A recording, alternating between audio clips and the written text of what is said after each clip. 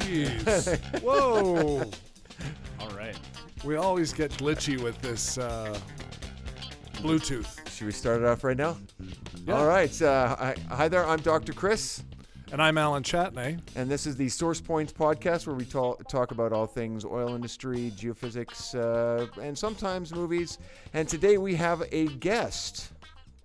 Yeah, we do. Uh, joining us today from RPS Group is Matthew Lennon. And uh, welcome, Matthew. Thanks, guys. Happy to be here.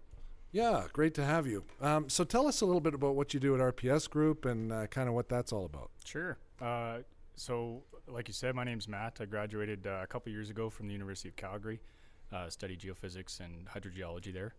And uh, I've been working since January at RPS Group as a geophysical technician, and we do a lot of uh, consulting for oil and gas and potash clients and um, help them find resource. Fabulous. And and so you're no doubt a, a GIT, a geoscientist in training then? Are you in that category? Yes, sir. That's awesome. Uh, so we, one of the things we've seen, I think, Chris, you're our responsible member. Yes, of I, Group A. I am very This is responsible. like Doctor of- Doctor Dr. Chris, Chris, Harris, responsible. responsible member, which is yeah, we can we won't make any jokes there. Uh, but uh, so we're always managing uh, our own GIT uh, thing, and one of the things we found is that through this downturn, a lot of people haven't kept up their APEGA uh, sort of registration, even though they've graduated with a geoscience degree. So, but you've Yeah. obviously done that. Well, when your company helps you pay for it, it's uh, it's really nice. Oh, that's good. Yeah, a lot of people have talked about that, about the price that's involved in keeping it up.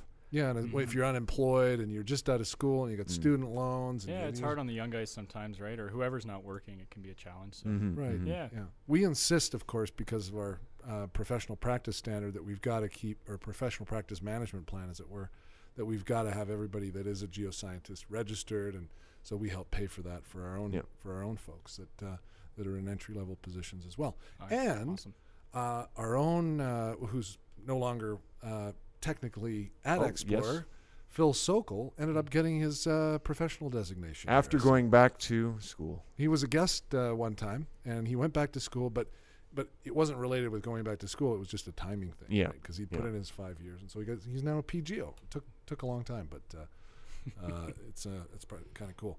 So okay, so um, but the reason you're here is Yes. Junior Geophysicist Forum. That's right. It's something Al you're familiar with. Chris, I'm sure you're very I am not actually. I've never been to a junior geophysicist well. forum. You're gonna get familiar. It's all good. All right, rock and roll. Um, Fill us in, son. Okay, this is uh, I think we're on our 16th JGF this year, the Junior Geophysicist Forum. It's put on by the CSEG um, Foundation's mentorship program as well as the EPP's, the Emerging Professionals Program. Um, and it's a kind of a joint event that kicks off the mentorship program for the year for the CSEG, and it serves as kind of a great networking, get to know you event. Um, but we're going to change up the format a little bit this year, so I'd love to talk about that as well. Yeah, yeah, Um, in, in previous years, we've had uh, uh, a speaker panel, uh, which has worked out really well and kind of some really interesting, engaging conversation there. And we've done technical talks before that and stuff. But this year, we're going to open it, you know, right up, and we're going to have all of the audience members participate in the discussion. So it should be a little bit more interesting. Oh, so you'll have to encourage questions from the floor. Oh yes, That's Yeah. always a challenge, you know. There's a certain skill to getting that. You know, you sort of. Some people are very nervous to ask questions in front of a group, especially of their peers or. Well, sometimes you got to start off with funny things. Uh, you know, tell us a joke or right. or bring up something, uh, some trivia to get everybody uh, putting their hands up and getting in on the I action. should take notes here. Yeah, no, that's right. It's it's good, and and so it's um. So let's make sure we get the date. We'll repeat that Oh. throughout. It's October 10th, That's right. Right. October 10th at the Petroleum Club, 4:30 p.m. to 7:30 p.m. 4:30 till 7. 7:30. And Chris will definitely put that up on the uh, on the graphic or whatever you do. Yes, what do you call I- that? A thumbnail or something? Uh, like that? w- clickbait. clickbait. clickbait. do a clickbait that has Yeah. the date and the time on the uh, Absolutely. on the podcast. He's a social media pro. Yeah, I, I, right. I'm trying to be. Not. n- I don't. Uh, I'm not anywhere near some of the bigger guys out there, but I, I'm making my little dent, a little teeny tiny dent. Yeah. So does this uh, event cost anything for people who are attending? Free to attend. The only thing we request is a food bank donation for a drink ticket. It's a pretty good trade, in my opinion. That's right. And uh, yeah, that'll help us uh, you know, give back a little bit to the community, and it's something we always try to do every year is, is uh, have a little bit of social impact as well. So Now, last year we were there, and we we sponsored last year. I think it's our third year of really being involved, and I've really enjoyed it. In fact, I should say that from my perspective, uh, the JGF really inspired me to get hiring, Mm. uh, uh, you know, sort of geoscientists that were fresh out of school. Today we've got uh, the first. The first in that category was Dan Lois, who we we hired after he was uh, he was uh, laid off at uh, at Cenovus.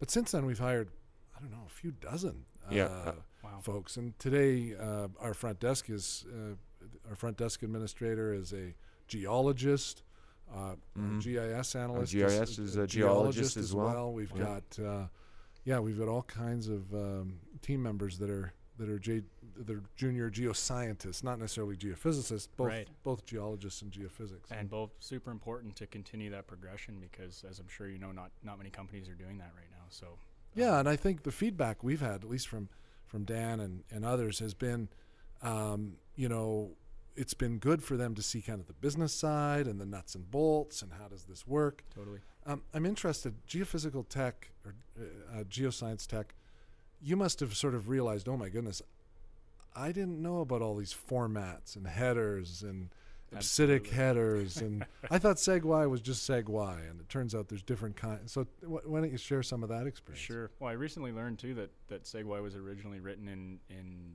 Fortran. Is that true? Oh, I don't know, but it's probably old enough to have been Fortran. Yeah, so there's some legacy component to that, but yeah, no, it's a different world compared to you know the typical uh, processing interpretation route to understand the kind of back end formatting and data management. I think it's super important for any geoscientist really to know what that's all about. So I'm happy to be doing that right now. Yeah, it's it's kind of neat. One of our one of our main focus areas right now, since we uh, successfully uh, acquired a software uh, business here on the 31st of August called Size Info, Oh yeah, is uh, which is data management software. It deals with that with that sort of piece Yeah. of the vertical integration uh, component, and um, and we've been thinking carefully about removing some of the obstacles that industry faces in terms of accessing their data. Right. So right now, a lot of people will still store physical tapes in a warehouse somewhere, often right. you know northeast or southeast Calgary. Um, some people have it in their garage. I'm, I'm told. And if you listen very carefully, you can actually hear the future on our podcast. I was right now. noticing that. You I was noticing that right now too, and there's Yeah. nothing we can do let's about just, it. Let's just uh, Okay, be give, quiet let's give a moment of silence for the death of tapes. or, or non-silence. Listen. yeah, yeah. Would- what you're hearing is the humming of the fans. Turn around. The Snowball. Uh, that is a hundred terabyte military grade hard drive Wow. that has uh, been sent to us by Amazon Web Services, and we're loading we're loading it up with uh, another wave of uh, seismic data. That'll bring us to, I guess, a tenth of a petabyte. Uh, Yep. Um, uh, online at uh, and we're we're we've published that. We're we're moving to the cloud with all of our data. Yeah. So And, Wow. uh, so that's what you hear right now. The future of data. yeah, it's kind of cool. It's kind of cool. Anyway, sorry, Well done, guys. uh, you were you were saying. Uh, uh, so what? Where do you see your career going from here? Oh man, uh, that's a great question. I think it's one that a lot of juniors have right now. Is Mm, uh, what mm. is the future hold? And um, I think a lot of us are thinking about how do we brand ourselves now, and a lot of personal marketing, and what does it mean to be a geophysicist or a data scientist or just a scientist in general? How do we how do we navigate that? So. Um, for me, it's about taking you know a broad scope of, of the skill set and, and seeing how I can add value in, in a lot of different ways, whether it be subsurface or now trying to add a data mana- management skill set of some kind. So um, it's pretty wide open, guys, and uh, you know I'm not sure where it's headed, but uh, just be open to opportunities.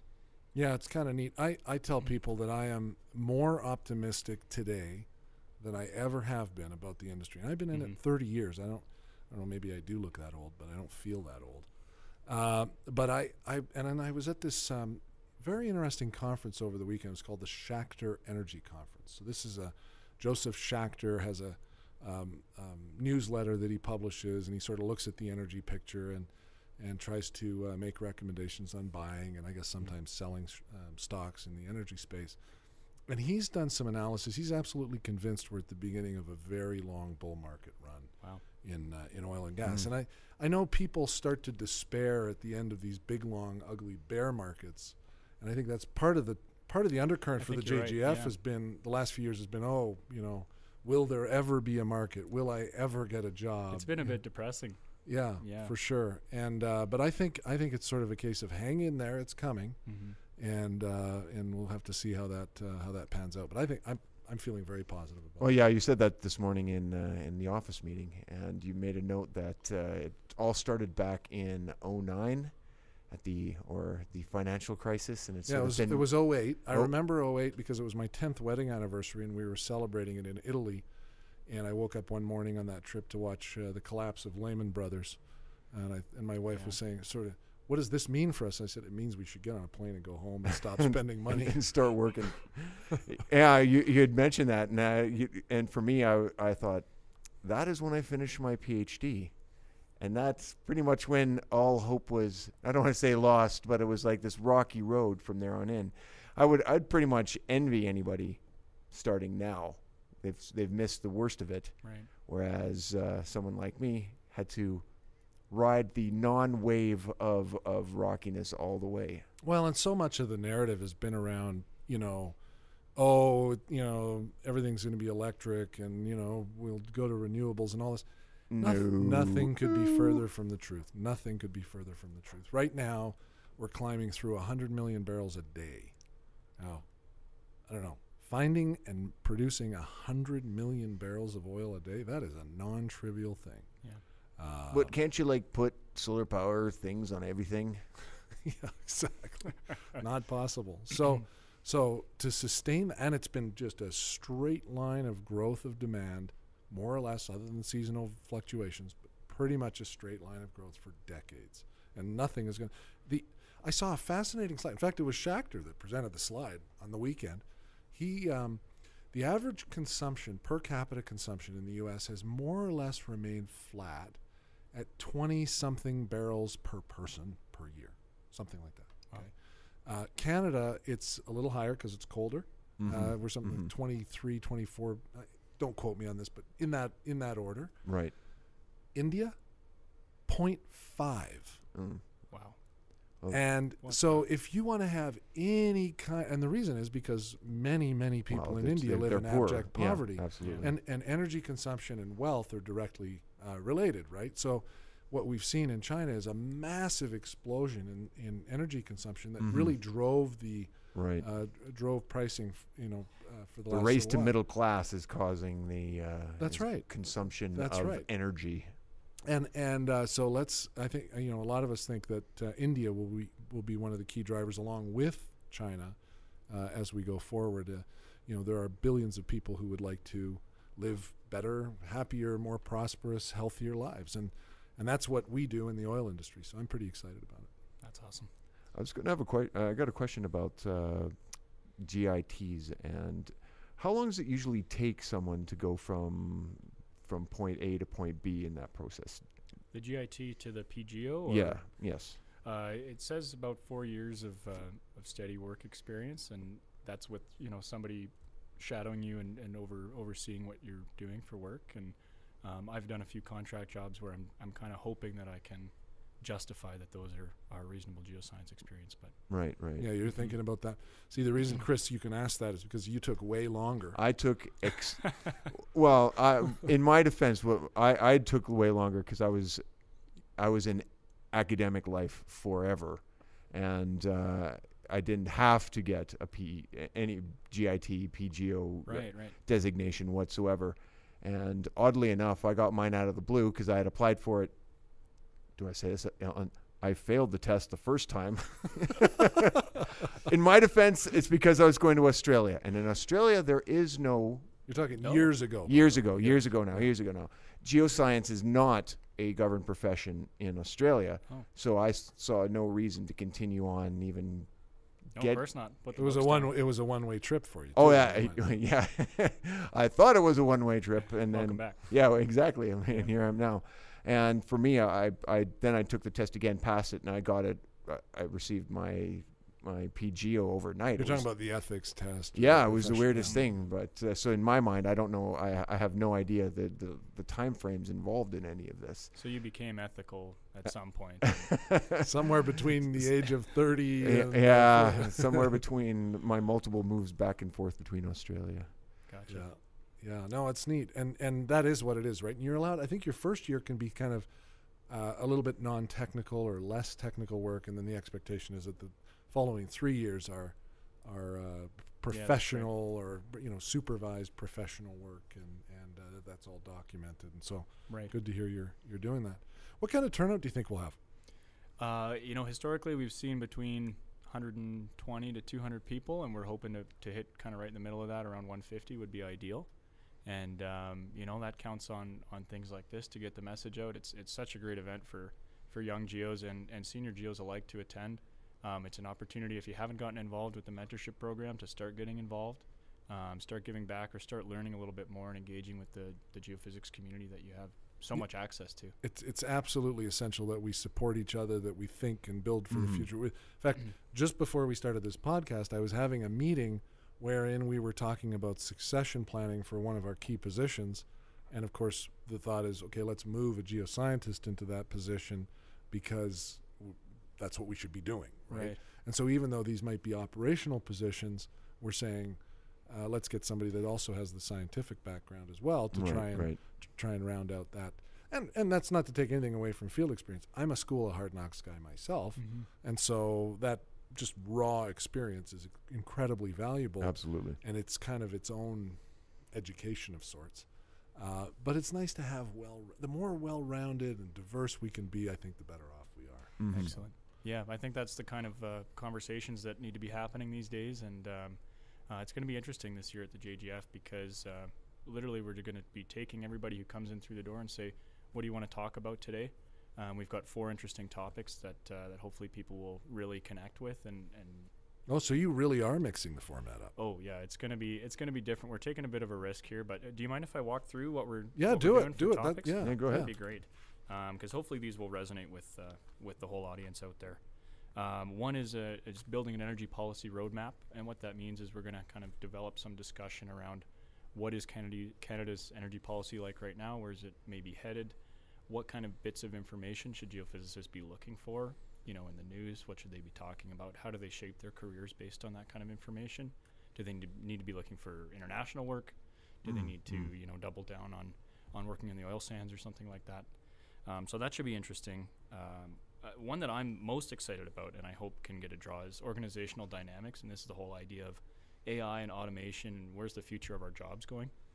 Mm. And so this is something that's going to affect every industry, every career in some way or another. Good topic. Good topic. Yeah, so we'll see where that heads and, and what people's thoughts are. I don't know that a lot of geophysicists are necessarily thinking about or worried about how automation is going to affect their jobs, but maybe I'm Mhm. wrong. I think we're going to get a lot of input there. So, um, economic value, this is something that we visit all the time. The VIG group, the Value in Geophysics group, um, Value in Integrated Geophysics, sorry, talks about, you know, how are we actually adding value to the bottom line and, and how do we remind the entire industry and the community that we're important in, in these different ways, right? And lastly is uh, new data tools, which is a, a bit of a buzzword these days. You know, how are how are people uh, changing in terms of their analytics approach, and how are we looking at data differently than we used to 10, 20, 5 years ago? Yeah, those are going to be fascinating topics. Uh, all of them. I mean, it, let's. Can we talk about all of them? Can you choose all? I'd love to. Yeah, Yeah. Uh, could be a very long. Could be a very long session. The only thing is, uh, Matt doesn't have a very long session to talk about right now, unfortunately. So we're, I'm being mindful of time for him. Oh yeah, do you thanks, had a, you had a cap, but uh, yeah. Oh, you got to be out of here by 3 We're Is that the deal? Three three oh five. We're Okay. 305. that, that leaves 10 minutes of movies. Uh, yeah. There you go. Well, I, I'm a movie I buff. just, I, I, did, love. I did just want to touch on one thing, and that is that you know we have carefully been thinking about this space of machine learning and Mm, AI absolutely. and data Yep. analytics and all of that. And what's become very, very clear is that, and it, and it ties to value, by the way, Mhm. because today it's that separation between uh, brains and data, right? So much data is just tucked away in a warehouse on some magnetic tape somewhere and it takes so long and it's it costs and, and it just takes a while to get your hands on it and, and put it serve it up on a workstation let alone build a machine learning algorithm that can query all of that data efficiently. And Right. so so that is why you hear the hum of the snowball in the background. That is why uh, we picked up size info. It's why we're looking at that space. It's because we're thinking about how is industry going to actually connect to data in a direct way. Uh, Elias, who uh, who's been doing a bit of work with us, Elias Carciente, uh, data scientist, uh, software guy. Uh, did some time, I think, with uh, IHS and possibly Schlumberger and maybe Conoco uh, and others. Anyway, um, he uh, just finished a, sort of a data science boot camp thing that lasted a few months, where he did a query, a machine learning query, uh, looking for salt amongst something like 20,000 seismic images. Wow. And, and to kind of do work that humans could just never kind of get, would literally take a lifetime to do the work Right. And and it's just really exciting for me. The other discussion I had was with somebody from Halliburton. They ran a test running an algorithm on a, on the cloud on a 600 gigabyte stack volume uh, to do automated fault interpretation. They said normally even on a big server farm this would take weeks. Uh, they they banged it off in five hours Yeah. Wow. using high powered computing. So if you're cloud. not doing that, what's wrong?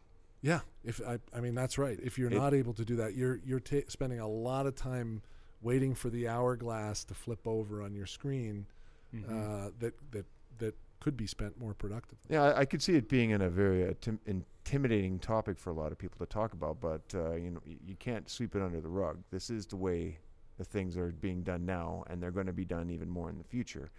So how, how are we going to fit ourselves into those pictures with l- machine learning as part of it? Well, and it's a big great in your, topic, in, like- in your world, GIS. Oh, absolutely. I went to a ta- I went to a talk and uh, the, the guy was energy. I forget his name now, but he was energetic and he had a great quote at the end, a- and it's something we have to be really cognizant of.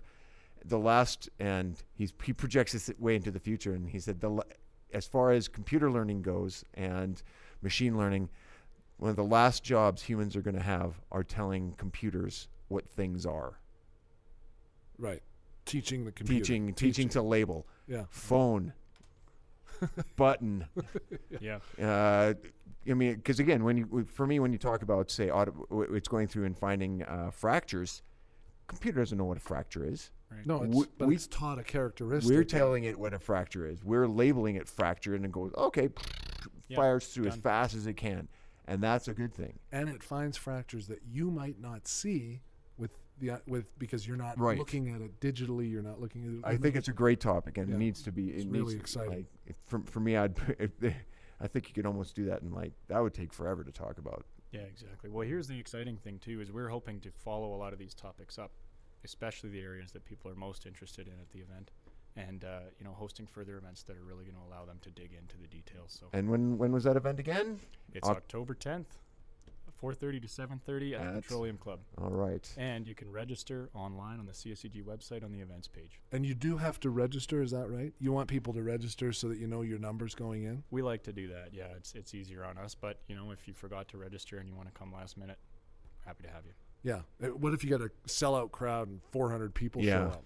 All right, well, then we're gonna have to turn you away. okay, so register. You heard it from Matt. All right. Register away. We're conscious of Matt's time. We gotta we gotta wrap things up Sorry, here guys. pretty quick. But That's oh, three. no, that's good. That's Oh, good. and We, we've got our outro music. we have our outro oh, music. right on. So this has been uh, podcast number what? Oh, it's- it's six, I think. Oh no, Oh, this we never got this far in the song before. that's not the that's not the outro music. this is it. Yeah, it is. No, it is now. it's the bridge. There it Oh, is. Anyway, this has been Source Points. I'm Dr. Chris. And I'm Allan Chatenay. Uh, until next time, uh, keep rocking. Thanks, Matt. Thank you, guys.